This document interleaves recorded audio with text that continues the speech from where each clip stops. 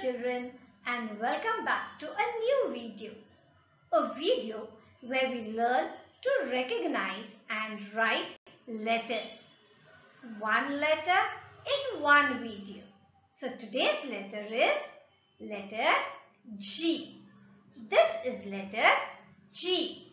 It goes like a backward curve up, in, out and down. This is letter G. G makes the sound G. Letter G makes the sound G.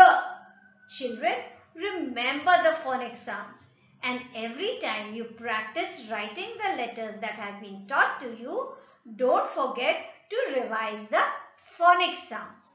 So letter G and G makes the sound G. So what does G stand for? G stands for girl, goat, gun, gate and many more. Let's look at these pictures and find out all those objects that letter G stands for.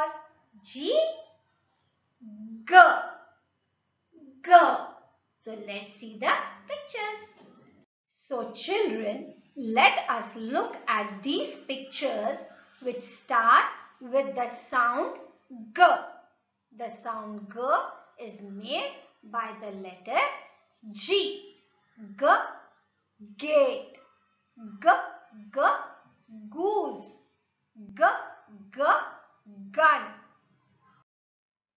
We can also say G is for goat, G for girl and G for games. Children, pay attention to the starting sound. G, go, t. G for golf. G, golf. G for gift. G, gift. G for g, guitar. G for gorilla. G for garden. So children, remember G, the letter G makes the sound G. Gorilla, garden.